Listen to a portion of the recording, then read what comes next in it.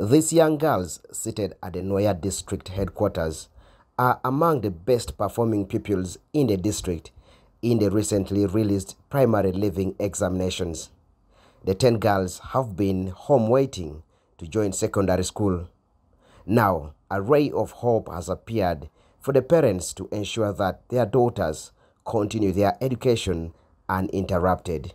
So when they come back, their impact will be there because they will also inspire the, the pupils who are still remaining as here, with us here in the in the in the in, in Nwoya. The 10 girls are among the only 16 female pupils to score first grade in Nwoya district. I advise them also to work hard and pray. Other, other sisters and brothers of mine who are remaining. So so much grateful. Thank you. This is going to improve even the number of pupils who are who, who, who would be going out for for secondary in Nwoya, so that the balance which are remaining, we are going to take them. Also, they are going to join senior one. Nwoya district has received the scholarships from Total Energies as a contribution to the education of the girl child. God and be a doctor.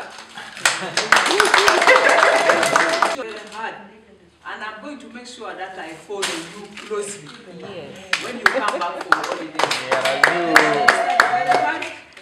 The Total Energy Scholarship covers tuition, it covers upkeep at school, it covers pocket money, it covers all the needs you need at school. So all the mattresses you see in there, all the beddings, uh, coaching, we even do remedial classes, uh, we do follow-ups, we even uh, visit them on the visiting day. So basically the scholarship is wholesome. It has so many benefits in there that a student needs. The girls will be enrolled at Sacred Heart Senior Secondary School in Gulu City.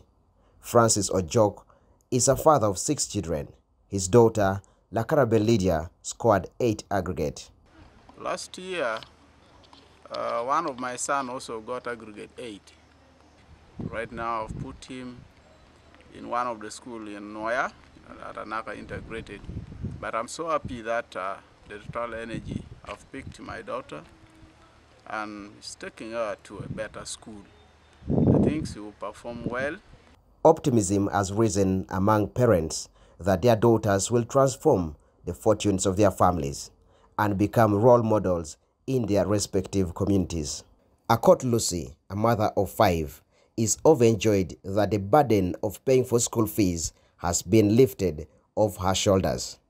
However, the girls will be pulled out of the scholarship program if they fail to perform or break school rules and guidelines. I'm very, very happy about her. I want her to go to, to Uche because generally their performance is okay. Madong penyo dugu, latiana tiong penyo be, anto no dungu na pe, pedonga, arama metekere anyi. Ah, Most schools nowadays, when you come in S1, they give you a pass mark by third term. So if it is 70, you have to stay because we take you to the school.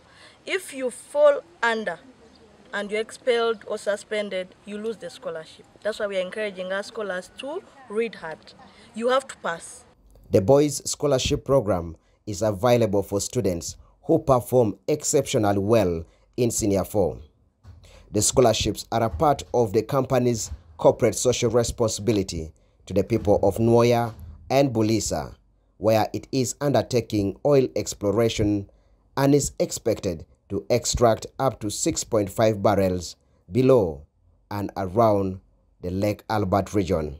Joseph Omagor, reporting for the news in Nwoya District.